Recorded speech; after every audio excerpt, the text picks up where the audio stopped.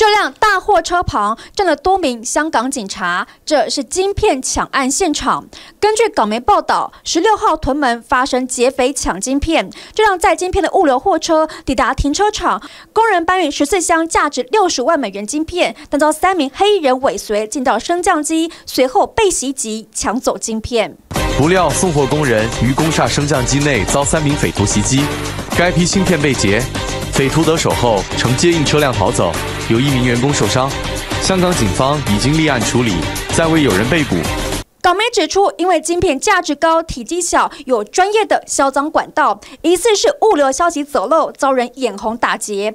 无独有偶，日前在深圳一家电子厂也发生晶片窃盗案，被偷走二十一万片，价值数千万元。好在半天内破案，追回晶片。我们去的时候，厂内的监控主机。就被拆卸了嘛，所以厂场内的一些视频我们是看不到的。